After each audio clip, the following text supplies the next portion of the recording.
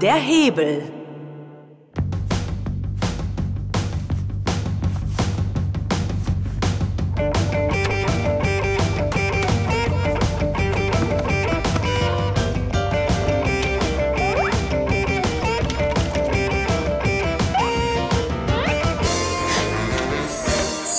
Ja! Ein neuer Rekord beim Gewichtheben! Du bist so stark. Die Handel ist so leicht, dass ich sie mit meinem Finger heben kann. Na toll! Aber kannst du auch deinen Nachtschrank hochheben? Ich weiß nicht. Hab's nie probiert. Dann versuch's mal.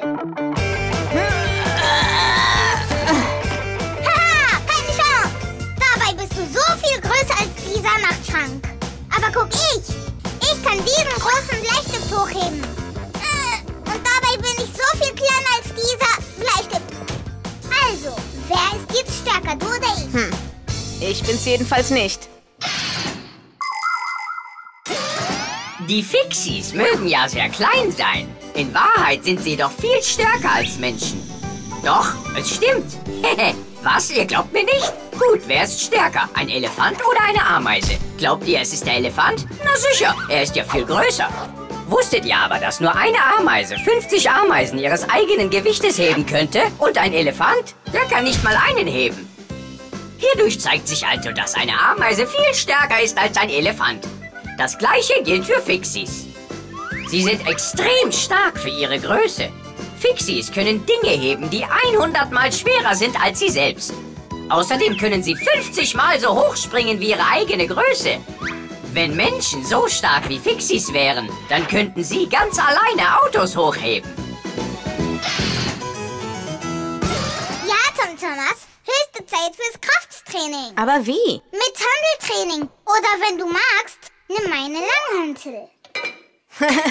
Nein, danke. Ich nehme die Handel meines Vaters. Die sind in seinem Büro, glaube ich. Oh, da ist eine. Und wo ist die andere? Da bist du ja. Ich krieg dich da raus. Komm schon, komm schon. Ich helfe dir. Sie steckt fest. Also gut. Aus dem Weg. Ich hol sie gleich raus. Mm, Boah. Boah, klebt die am Boden oder was? Hey, was soll denn all der Lärm? Hallo, Simka. Wir kriegen die Handel da einfach nicht raus. Na klar könnt ihr das nicht. Die Couch liegt ja oben drauf. Ach, deswegen geht's nicht.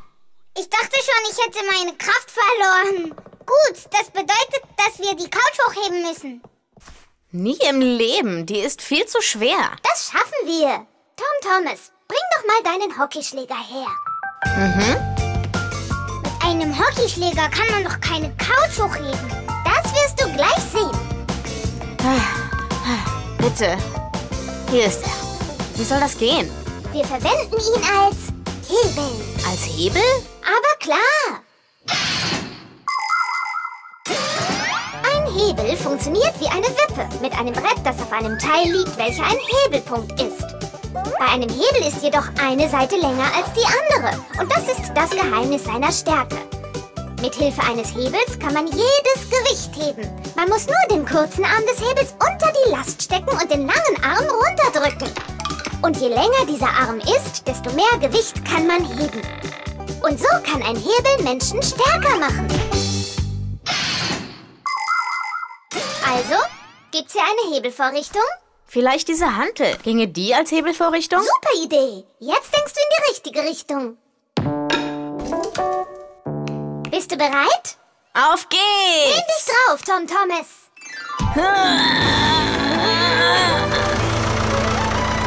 Yippie! Es funktioniert! Ich bin so stark, seht ihr? Passt mal auf, wie ich Papas Hantel stemme. Guck! Äh, Ich schaff das! Haha, ich hab's dir gleich gesagt. Du hättest dir gleich meine Hantel nehmen sollen. Aber ich habe doch eben die Couch gehoben. Das war's nicht du, das war der Hebel. Hast du noch nie das Sprichwort gehört, Wissen ist Macht? Doch, habe ich. Obwohl, ein bisschen mehr Körperkraft würde dir auch gut tun. Also nimm deinen Hebel, geh raus und spiel Hockey. Du weißt ja, dass Hockeyspieler sehr stark sind.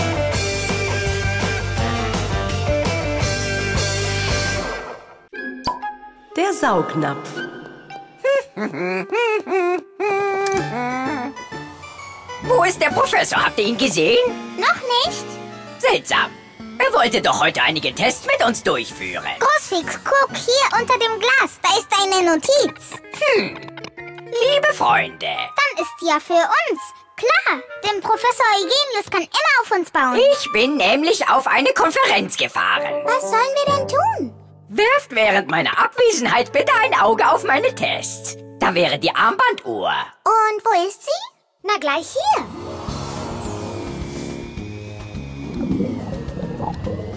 Schaut, warum ist die Uhr denn im Wasser? Damit die Fische wissen, wie viel Uhr es ist, Nolik, sei nicht albern. Das ist der Test für die Armbanduhr. Siehst du? Da steht wasserfest. Genau da auf der Rückseite. Das heißt, dass kein Wasser in sie rein kann. Ich verstehe. So prüft der Professor, ob sie auch unter Wasser funktioniert. Verstehst du? Ah, jawohl. Verstanden. Die Uhr funktioniert. Und jetzt der Türklingeltest. Wir schauen nach. Der ist da vorn.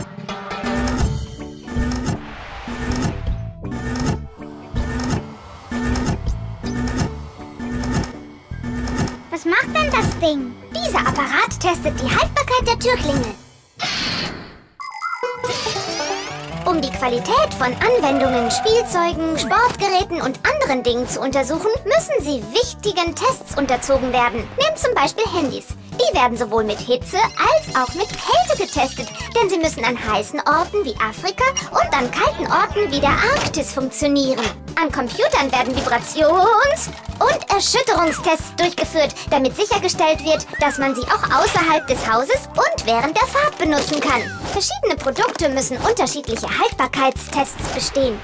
Zum Beispiel werden Sportschuhe und Autoreifen zum wiederholten Male gerieben und gequetscht, um zu sehen, wie lange sie halten.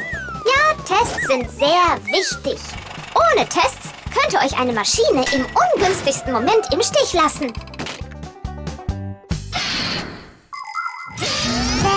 Einmal die Woche Gäste zu Besuch kämen und ein Raudier einmal im Monat käme und einen Klingelstreich machen würde, dann würde diese Türklingel etwa 400 Jahre halten. Das ist lang. Die Türklingel funktioniert noch. Das ist sehr gut. Jetzt, äh... Was? Ich weiß nicht. Da steht auch etwas auf der anderen Seite. Wir müssen ah, das Glas hochheben. Hopp, hopp,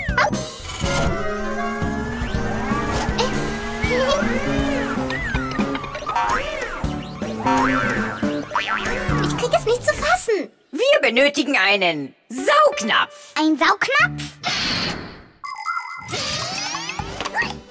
Saugnäpfe werden aus Gummi oder anderen elastischen Materialien hergestellt. Wenn ein Saugnapf gegen eine glatte Fläche gepresst wird, wird die in ihm enthaltene Luft verdrängt. Da die Außenluft wieder herein will, drückt sie den Napf herunter. Der Gummirand des Napfes lässt nicht zu, dass Luft hineingelangt, also übt die Außenluft stetig Druck aus. Dadurch bleibt der Saugnapf kleben. Dieser Vorgang wird möglich gemacht durch die Kraft der Luft. Warte eine Minute. Ich weiß, wo es einen großen Saugnapf gibt. Den nehmen wir.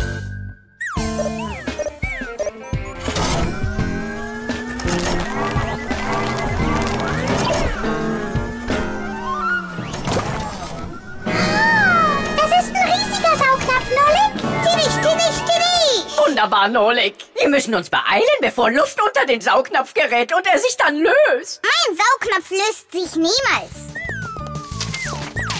Naja, lasst uns sehen, was hier steht. Simka, du solltest dich beeilen.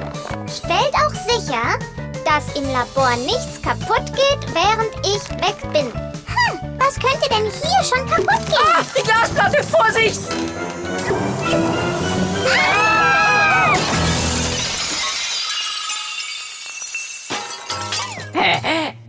Tja, da haben wir den Salat. Und wer wird jetzt alle diese Scherben aufräumen? Ha, was meinst du wohl? Nolik, der Saugnapf war ja wohl seine Idee. Nein, Simka, sie hat nur zu langsam gelesen.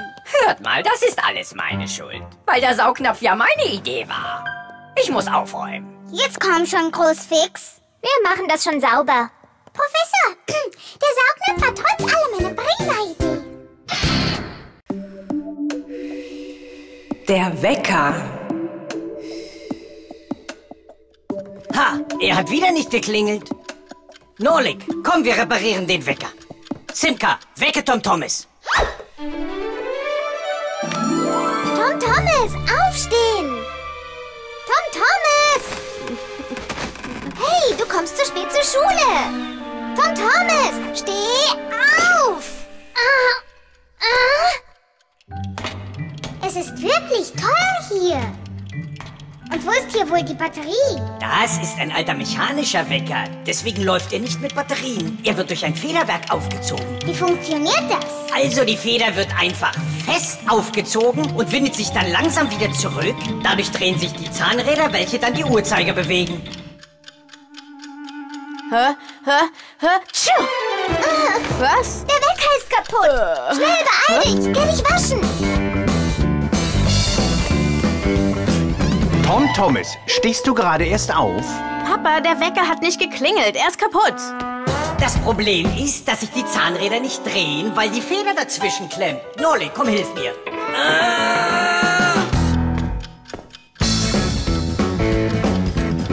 Papus, was ist hier los? Es fühlt sich wie ein Erdbeben an.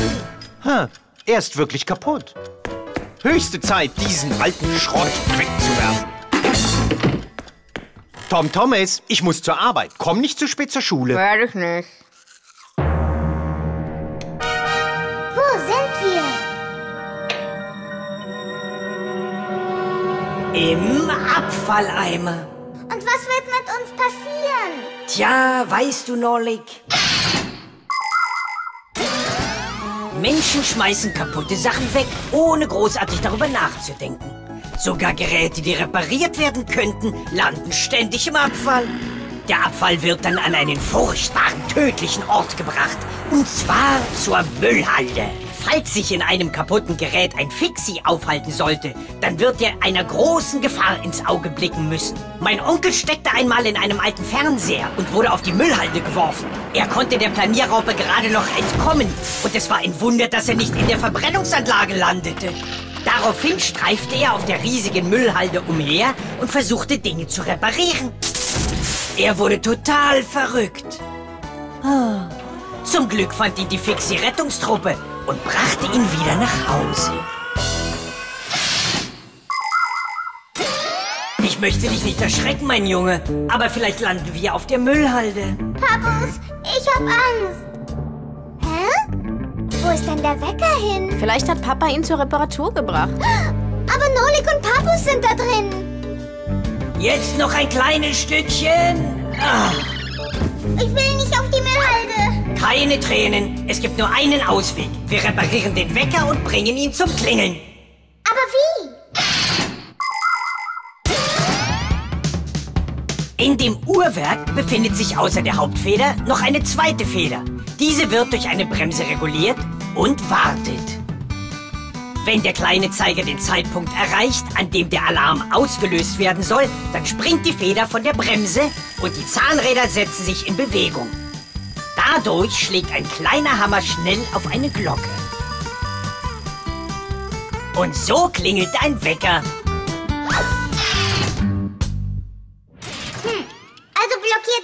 Feder die Zahnräder und verhindert das Bimmeln durch den Hammer. Ganz genau. Ich werde das Zahnrad hin und her wippen und du ziehst sie. Und eins. Und zwei. Und drei. Tidisch!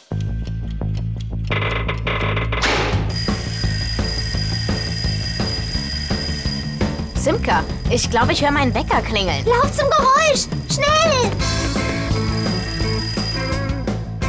Aha. Jemand hat den Alarm ausgeschaltet. Oh, und da ist doch wieder dieses Erdbeben. Nolik! Nolik! Ich bin hier! Nolik! Wir haben den Wecker repariert. Was war denn kaputt gegangen? Eine Feder steckte in den Zahnrädern. Und wie konnte eine Feder überhaupt in den Wecker kommen? Oh, das kam wohl, weil ich den Wecker unter mein Kissen gelegt habe, damit er mich nicht aufweckt. Ha! Du meinst also, dass wir fast auf der Müllhalde gelandet wären, nur weil jemand morgens nicht gern aufsteht? Übrigens, wenn dieser jemand sich nicht beeilt, dann kommt er zu spät in die Schule. Oh, du hast recht. Der Abfluss. Hey Nolik, komm, hilf mir. Der Lüfter im Computer muss abgestaubt werden. Geht grad nicht. Tom Thomas und ich malen eine Karte zum Hochzeitstag seiner Eltern. Ach je, du Armer, du arbeitest ja so schwer. Hi, Simka. Super, dass du da bist. Ich habe eine Frage. Zwölfter Hochzeitstag. Wird das mit einem W oder mit einem V geschrieben? Ähm, weißt du was? Schreib erst die Nummer 12 hin, dann den Bindestrich und dann ein 10. Oh, klaro. Ich hole erstmal frisches Wasser. Bin gleich zurück.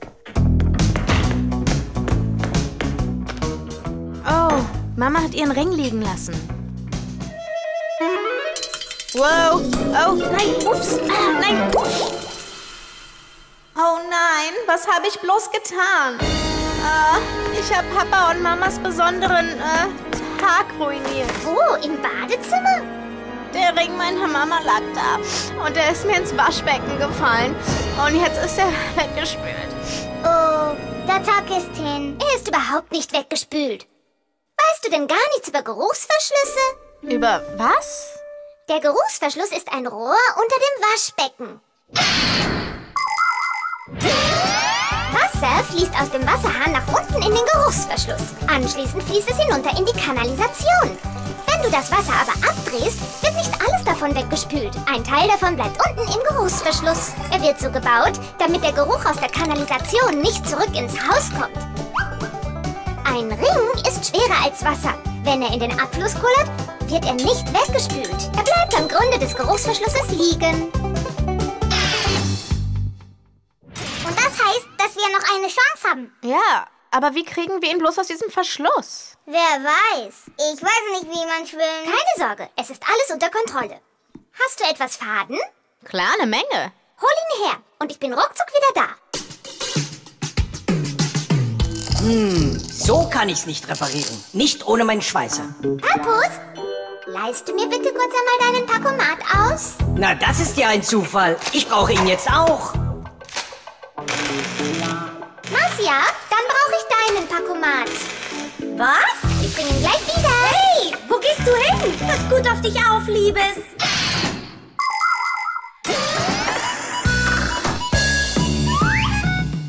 Der Name schon andeutet, leben Fixies, um Maschinen und Geräten zu helfen. Maschinen sind jedoch groß und Fixies sind klein. Also kommen sie ohne Werkzeuge nicht aus. Vor langer Zeit arbeiteten sie mit allem, was sie finden konnten. Mit kleinen Federn, Fäden, Nadeln. Aber heute haben sie Rucksäcke, Pakomaten genannt. Ein Pakomat beinhaltet viele Werkzeuge. Betätigt man den Knopf, dreht sich der Pakomat schnell herum und produziert einen Haken, einen Magneten oder einen Fallschirm. Jeder erwachsene Fixie besitzt einen Pakomat und ehe Kinder einen bekommen, müssen sie zur Schule gehen und viel lernen und eine harte Prüfung bestehen, um ein voll ausgebildeter Fixie zu werden. Und nur nach alledem erhalten junge Fixies ihren eigenen Pakomat. Und wie? Du gehst nur mit dem Ding da runter? Nicht nur so.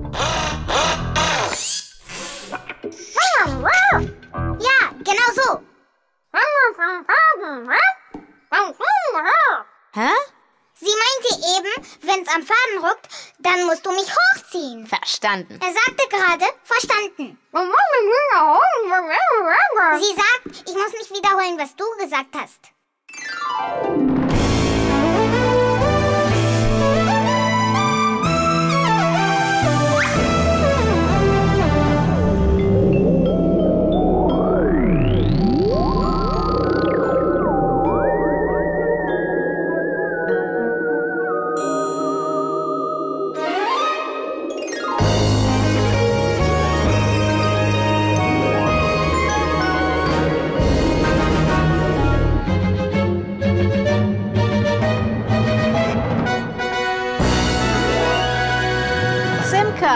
Nolik, danke euch. Ihr habt die Lage wirklich gerettet.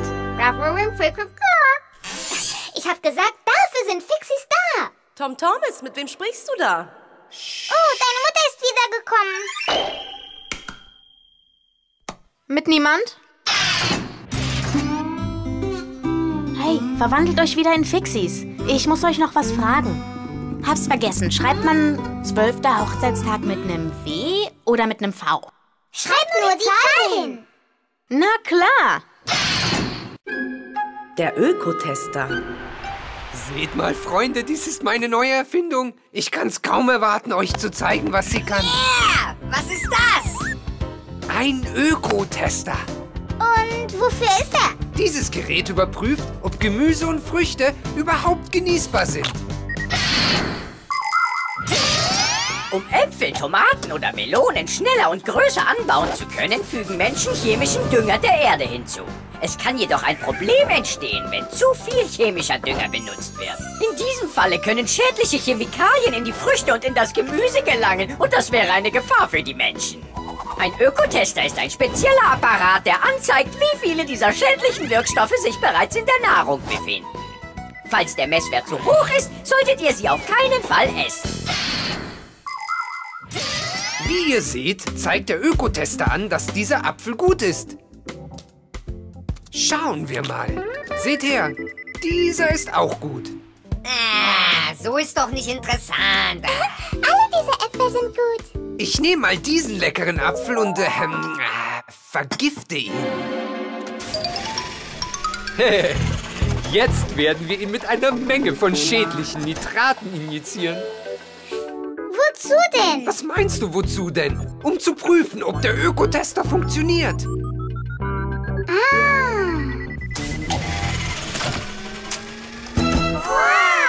Ah, seht ihr's? Der Ökotester zeigt klar an, dass dieser Apfel vergiftet und nicht essbar ist. Ist er denn nur für Äpfel geeignet oder? Für jede Art von Frucht. Ich, ich hol meine Wassermelone. Ist es denn möglich, dass Wassermelonen auch Nitrate haben? Natürlich ist das möglich. Menschen handeln oft ohne Rücksicht auf die Natur. Abfälle und Abgase von Fabriken, Städten, Flugzeugen und Autos fügen der Natur enorme Schäden zu. Tier- und Pflanzenarten sterben aus. Die Luft, das Wasser und die Erde werden verseucht und viele andere Arten von Umweltproblemen tauchen auf. Die Leute sollten keinesfalls glauben, dass ökologische Probleme nur Probleme der Natur sind. Denn wenn sie der Welt wehtun, dann schaden sie auch sich selber. Menschen atmen verpestete Luft ein, sie trinken verschmutztes Wasser und essen Nahrung, die aus mit Chemikalien verseuchten Böden stammt. Wenn die Menschen keine verseuchte Milch trinken wollen und gerne gesundes Obst und Gemüse essen möchten, dann müssen sie damit anfangen, die Natur wie ihren Freund zu behandeln. Hey, lass uns diese äh, Äpfel selbst austesten. Yeah. Nolik, hilf mir mal. Äh. Er.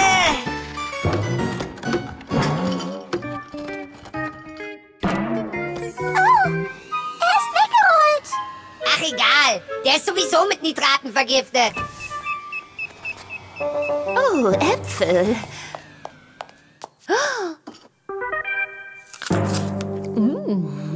Elisa, nicht essen! Lisa, Elisa, halt! Ah, Bitte setzen Sie sich. Wie? Haben Sie reingebissen? Ja, wieso? Oh nein, er ist vergiftet. Was? Können Sie noch sprechen?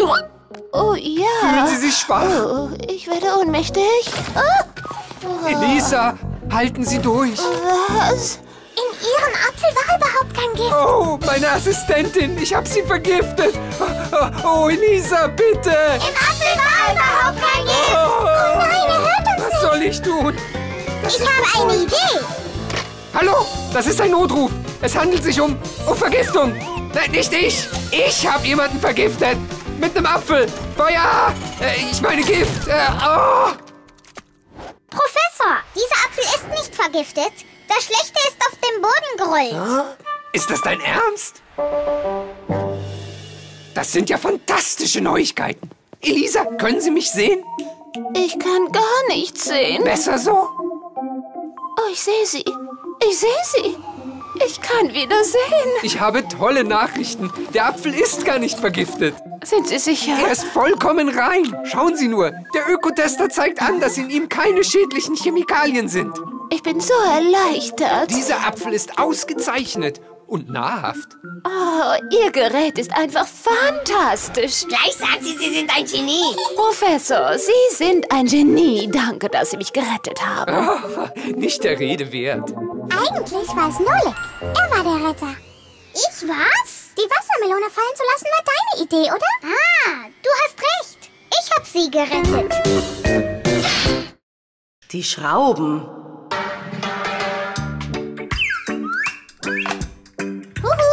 Tom Thomas. Woran denkst du gerade? Hä? Ich muss einen Aufsatz schreiben. Mein bester Freund. Und ich weiß nicht, über wen ich schreiben soll. Was meinst du über wen? Bin ich nicht dein bester Freund? Natürlich. Wie konnte ich vergessen, von dir zu schreiben? Und das kannst du vergessen. Das ist doch unser Geheimnis. Du hast doch versprochen, nichts über uns zu erzählen. Klar, ich erinnere mich.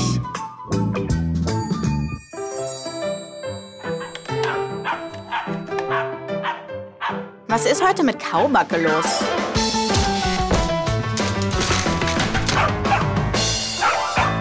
Kaubacke! Was zum Kuckuck hast du denn gegen diese Schrauben?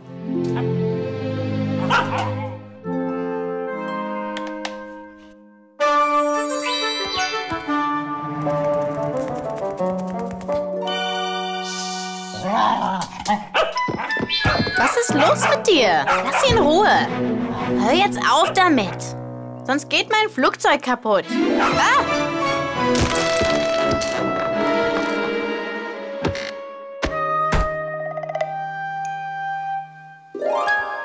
Lass uns schnell hier weg. Au! Was ist hier los? Was ist hier los? Hey, verwandelt euch wieder zurück. Sonst lasse ich euch nicht gehen. Oh, bitte. Habt keine Angst. Ich werde euch beiden doch nichts tun. Ich werde euch nur eine Frage stellen. Und dann lasse ich euch frei. Nolik, tu's nicht. Mach dir keine Sorgen. Was glotzt du so? Stell deine Frage. Wahnsinn, ihr könnt sprechen. Wer, wer, wer seid ihr denn? Fixies. Das war's, wir haben geantwortet. Jetzt lass uns raus. Äh, wartet. Aber was heißt das, ihr seid Fixies? Na, das wäre ja wohl schon Frage Nummer zwei. Du hast versprochen, uns freizulassen, oder? Tut mir leid. Ihr könnt jetzt gehen. Simka, es ist okay. Seine Augen sagen mir, dass wir ihm vertrauen können. Äh, na gut, wir sagen's ihm. Und du musst schwören, dass du's niemandem erzählst. Ich schwöre es. Fixies. Wir sind die kleinen Leute, die in Maschinen und Geräten wohnen und sich um sie kümmern. Wir reparieren sie, säubern sie und ölen sie. Menschen wissen nichts von uns. Sie glauben, dass wenn ein Gerät nicht mehr geht und dann plötzlich wieder funktioniert, es ganz von allein geschehen ist. In Wahrheit passiert nichts von allein. Es geschieht, weil wir Fixies drinnen leben. Ja, ohne uns Fixies hätten die Menschen so viel mehr Probleme mit ihren Maschinen. Fantastisch. Sagt mal, wie heißt ihr denn? Das wäre dann schon Frage Nummer drei.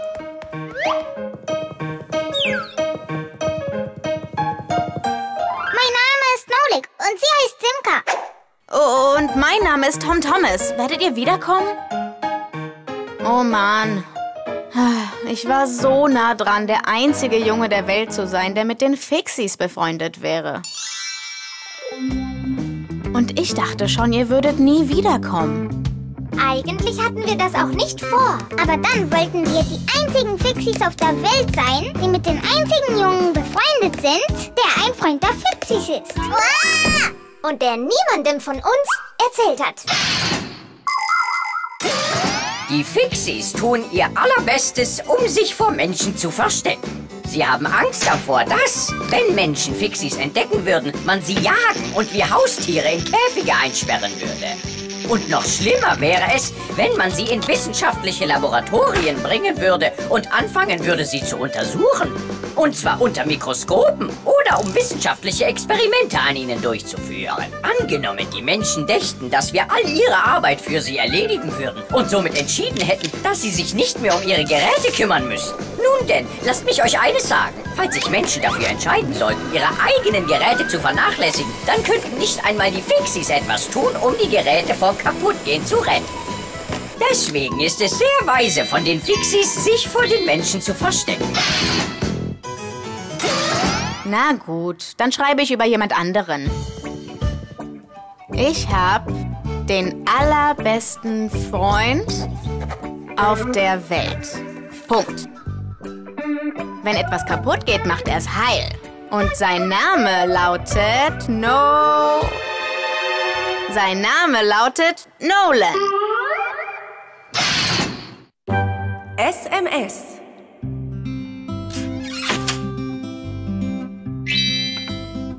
Hey, die Luft ist rein. Oh, sieh mal hier. Ein Handy. Vielleicht hat Tom Thomas ein neues bekommen. Oh, wow. Nolik, halt. Wie toll. Oh. Komm zurück.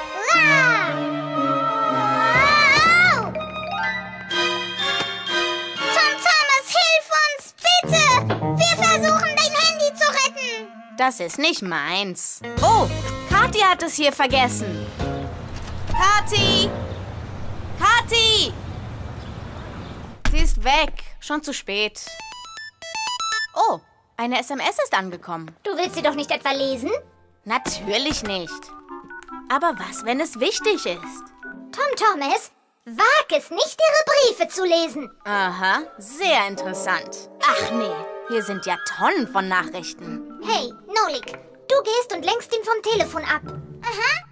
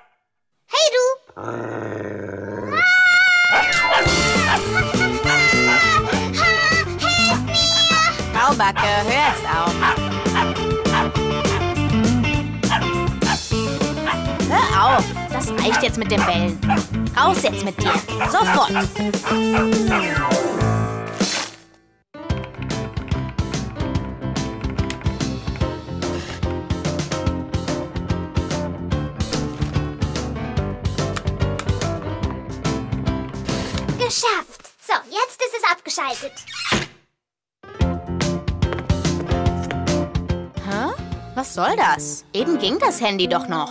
Oh, dann hast du es wohl kaputt gemacht. Wie? Habe ich nicht. Hast du wohl. Naja, Tom Thomas, jetzt musst du es wohl Kathi so zurückgeben. Wie kann denn das sein? Das ist passiert, weil du die Nachrichten von anderen gelesen hast. Es war nur eine SMS.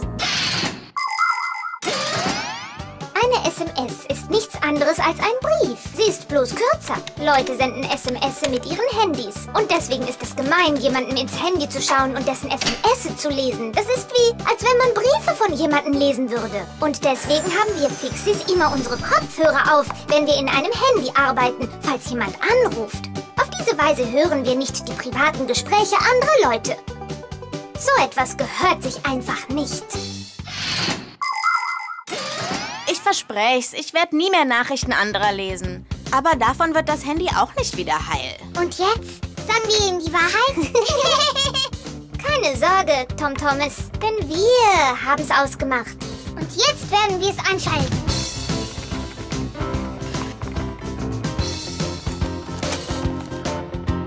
Siehst du, die Kontakte berühren sich nicht.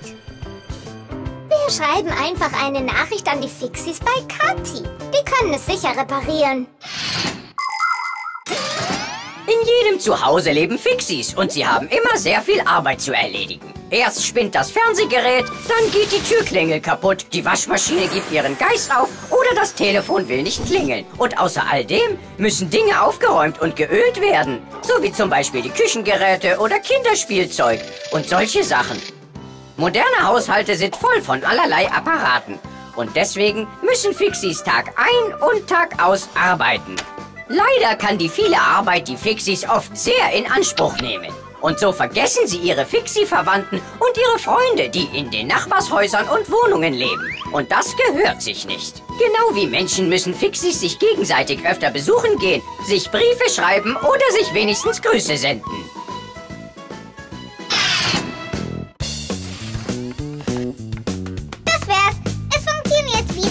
Ihr seid die Besten. Jetzt kann ich Kathi anrufen und ihr sagen, dass ihr Handy hier ist.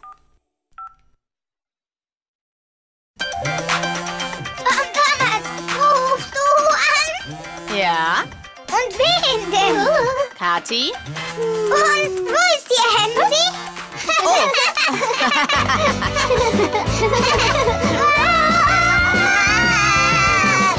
oh, Tom Thomas, gut gefangen.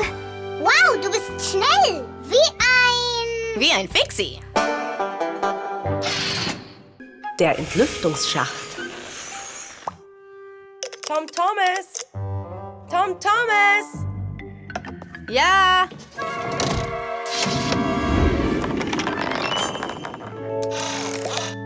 Simka Spule, schaut doch mal. Er ist schön, oder?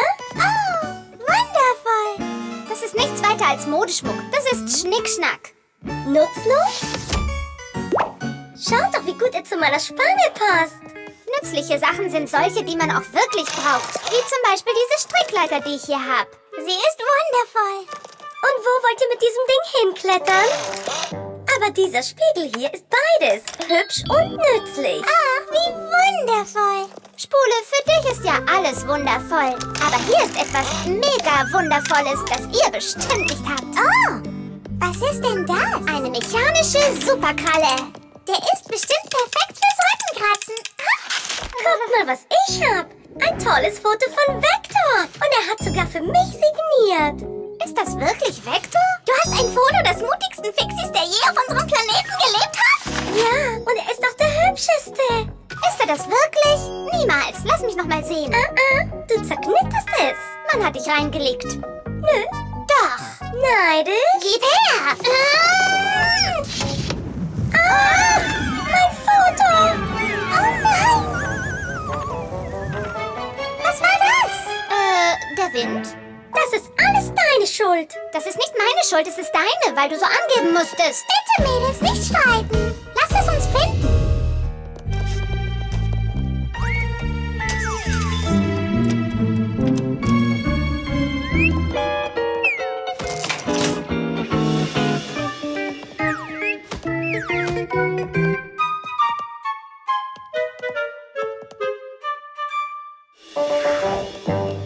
Es ist so furchtbar, ein Foto zu verlieren.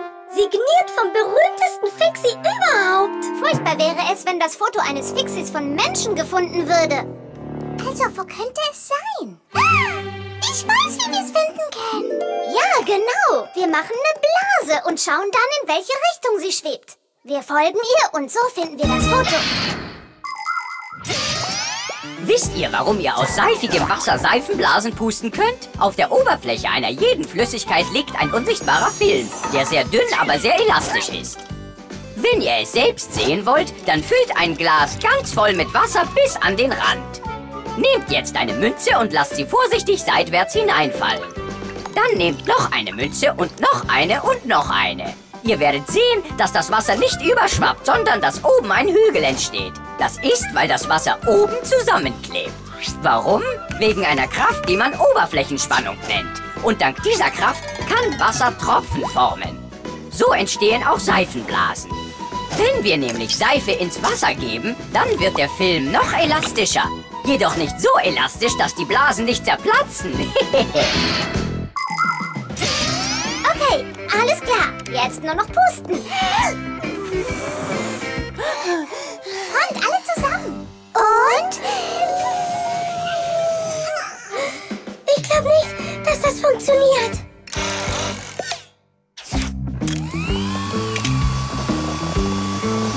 Schaut, sie fliegt. Wundervoll. Die Entlüftung. Oh klar, warum habe ich nicht gleich daran gedacht? Habt ihr je Löcher im Badezimmer oder in der Küche gesehen, die vergittert waren? Das sind Entlüftungsschächte. Und hinter ihnen befindet sich ein langes Rohr, welches Luftkanal genannt wird. Durch den sogenannten Luftkanal werden unangenehme Gerüche und auch muffige Luft nach draußen befördert. Und wenn ihr die alte, schlechte Luft noch schneller aus dem Haus befördern wollt, dann öffnet das Fenster und lasst etwas frische Luft von draußen hinein. Die Luft in eurem Zuhause sollte immer frisch sein. Hey, schaut mal her! es. Schnapp's dir, bevor es wegfliegt. Wie kommen wir ran? Was für eine Frage. Weißt du denn nicht mehr, was ich hab? Timmy! Mua. Danke, Simka. Was hätten wir nur ohne deine mechanische Kralle getan? Und ohne deine fantastische Leiter. Hier, für dich. Ah. Ein Geschenk von mir. Danke, wie toll. Und dir will ich das geben. Toll. Einfach wundervoll. Simka, bist du hier? Ha, was hast du denn da, Simka? Einen kleinen Spiegel. Er ist wundervoll, oder? Ach, ihr Mädchen. Ihr seid alle gleich. Reibung.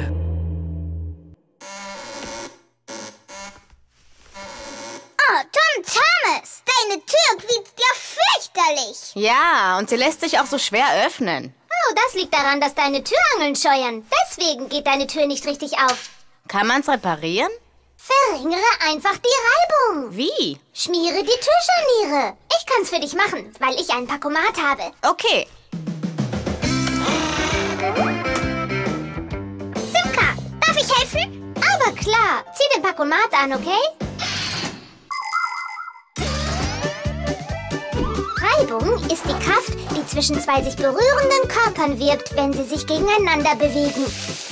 Reibung kann Dinge schnell abnutzen, wenn viel Reibung besteht. Will man weniger Reibung, muss man etwas zwischen die Teile tun, die gegeneinander reiben. Zum Beispiel Öl. Es gibt verschiedene Schmiermittel, die Uhren und Räder reibungslos halten. Und wusstet ihr, dass für Skier ein Spezialwachs eingesetzt wird, um sie noch schneller zu machen? Wär's. Jetzt die obere Angel. Alles fertig. Komm, probier mal, wie die Tür funktioniert.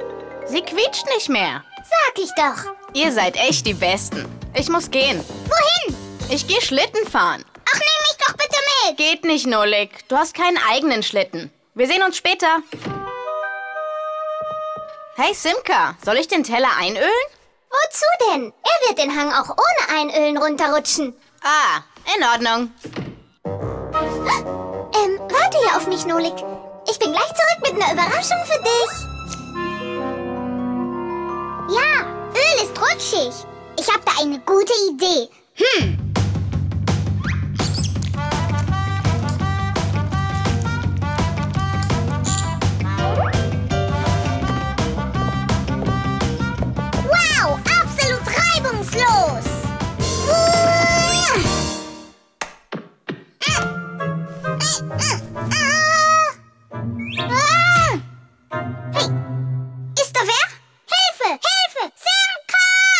Nolik?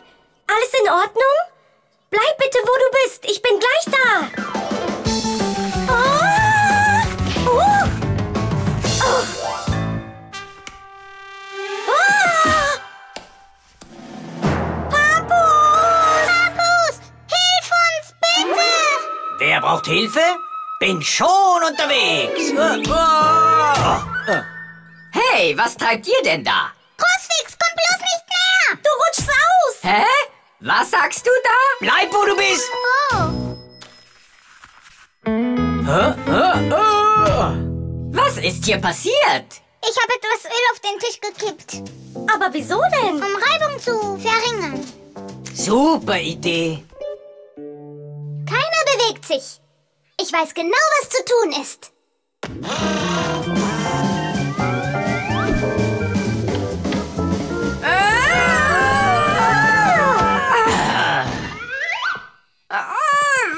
Hattet ihr denn für ein Problem mit der Reibung?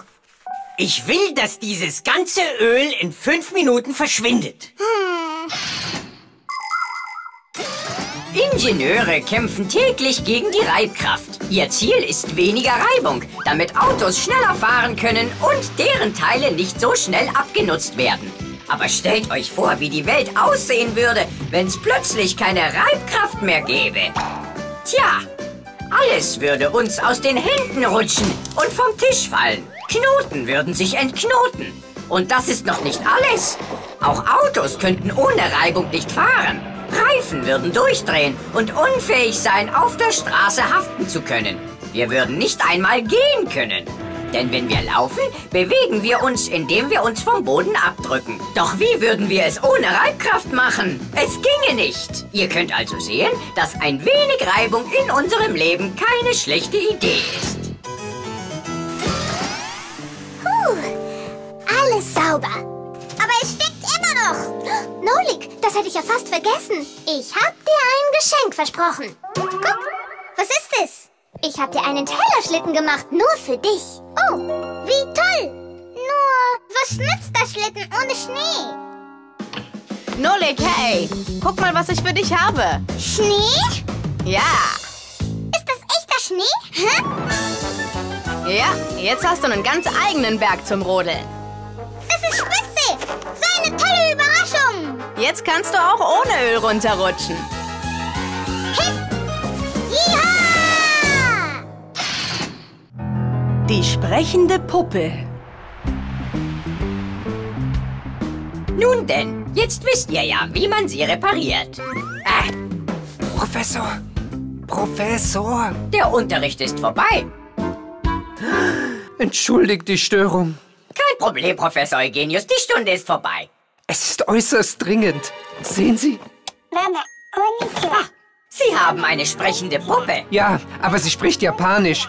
Das Problem ist aber, dass sie Deutsch sprechen soll. Ihr bringt ihr bei. Eine neue Technologie. Ich bin überfragt. Keine Sorge, das schaffen wir schon, Professor. Danke, Herr Kollege. Sie sind immer gleich zur Stelle. Was täte ich nur ohne Sie?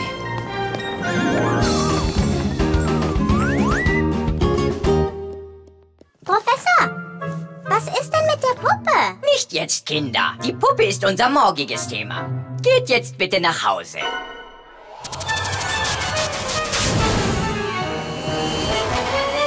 Ich weiß sowieso schon alles über die Puppe. Im Ernst? Ihre Stimme zu verändern ist so leicht, das kann jeder. Aber wie? Kommt mit, ich zeig's euch.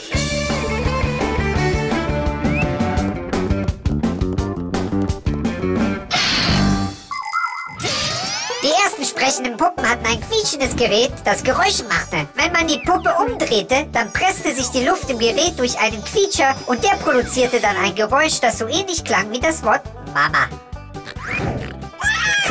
Komisch. Heutzutage werden Stimmen und Geräusche auf Elektrochips aufgenommen, die mit kleinen Abspielgeräten in die Puppe eingebaut werden. Man drückt einen Knopf und die Geräusche werden gespielt. Jetzt können Puppen mit Leichtigkeit Mama und Papa und alles Mögliche sagen.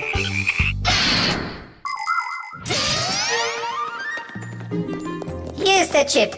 Auf ihm ist die aufgenommene Stimme der Puppe. Das ist stark. Kann man die Stimme denn neu aufnehmen? Na klar. Also gut, ich muss gehen. Bis dann. Warte, Nolik. Ich habe eine super witzige Idee für einen Scherz. Was, wenn wir das auf den Rasen dann stehen Also nun, wie gestern versprochen, erzähle ich euch heute von sprechenden Puppen. Einige sprechen, wenn man sie schaukelt, andere reagieren auf Geräusche. Und um diese Dame zum Sprechen zu bringen, muss man einen Knopf betätigen. Wer möchte gerne? Spule! Ich? Äh, na gut. Ich mach's gern. Also los. Drück auf den Knopf, dann sagt sie Hallo Mama. Momentan auf Japanisch.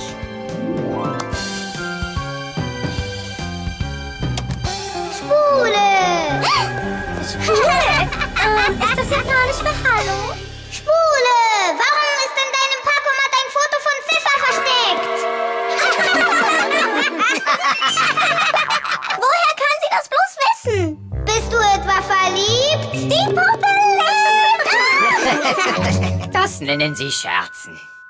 Ich habe noch eine viel bessere Idee für einen Scherz. ja. Was?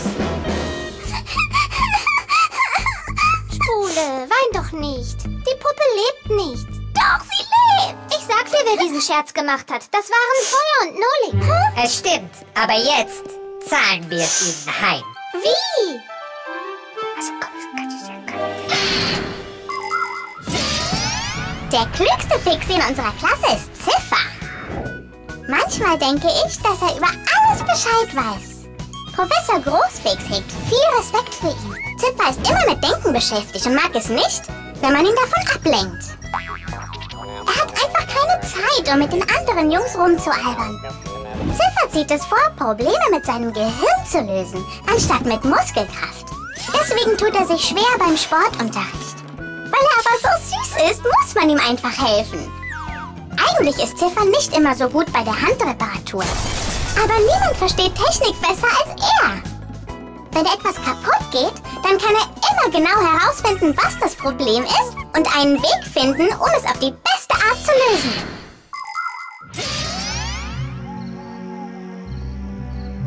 Dieses Mal machen wir es noch lustiger. Ah, ihr seid wieder da, ihr Gauner. Jetzt werde ich euch zeigen, was man mit bösen Jungs macht, die kleine Mädchen ärgern. Oh, jetzt habt ihr Angst. Das geschieht euch recht, ja? Die haben wohl gedacht, dass die Puppe wirklich lebt. Weißt du was, Ziffer? Ich dachte mir eben, dass es besser wäre, wenn sie lebendig wäre. Oh, Spule, du stellst echt Ansprüche.